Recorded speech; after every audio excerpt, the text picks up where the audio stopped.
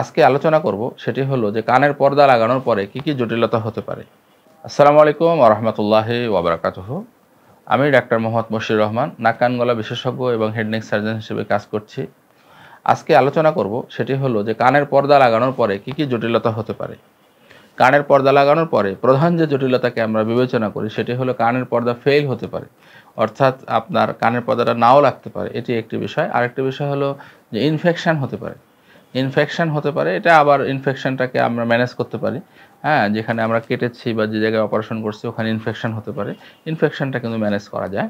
আরেকটি বিষয় হলো যে নার্ভ ড্যামেজ হতে পারে, সেটি হচ্ছে chorda tympani nerve chorda tympani nerve যদি ড্যামেজ হয়, তাহলে খাবারের স্বাদ কমে যেতে পারে।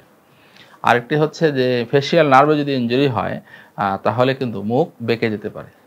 আরেকটি হচ্ছে যে কানের মধ্যে এক ধরনের শো শো ভো ভো আওয়াজ তৈরি হতে পারে। আরেকটি হচ্ছে যে আপনার কানের শ্রবণ শক্তি কিন্তু কমে যেতে পারে। যদিও ভেরি ভেরি রেয়ার তারপরে কিন্তু কানের শ্রবণ শক্তি অনেকাংশে কমে যেতে পারে। তো যাই হোক, কোনো অপারেশনের জটিলতা মুক্ত নয়। সকল অপারেশনে কিছু না কিছু জটিলতা রয়েছে। জটিলতা মেনে নিয়েই আমাদেরকে সার্জারিতে অগ্রসর হতে হবে ইনশাআল্লাহ তালা এবং সদা সর্বদা আল্লাহ তালার সাহায্য কামনা করতে হবে। সালামু আলাইকুম রহমতুল্লাহি ওয়াবারাকাতু